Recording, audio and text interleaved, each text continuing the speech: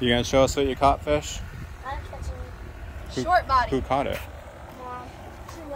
Short body mangrove snapper. Look at this thing. This thing called short body. Little short body mangrove snapper.